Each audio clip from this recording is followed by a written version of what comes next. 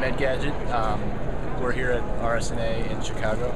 You can't see this, but this is a really cool 3D lenticular screen showing um, some cool CT images that you don't need glasses for. It's part of the uh, Object Research Systems uh, display here at RSNA, and Eric is one of the presenters here. So, Eric, what are you guys showing here today? Uh, basically, we're showing our uh, RS Visual software, which is a uh, FDA-approved radiology software.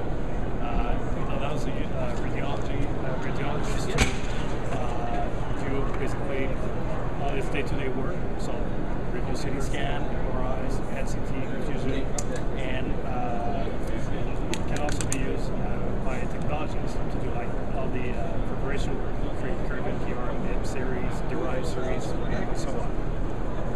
And so, what products are you guys this, um, showing here that you want people to know about?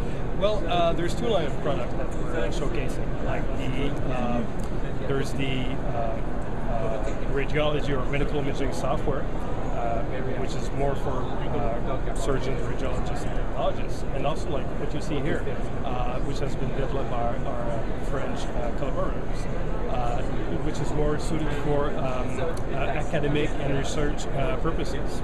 Like, like here, you can actually use this.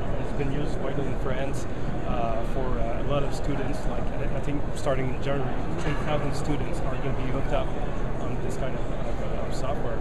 So, so it's going to provide them with re, uh, realism. And where should people go if they want to find out more? If they want to find out more, they can go on or, uh, orsvisual.com Okay. and, uh, and uh, check us out. All right. Thank you very much. Thank you.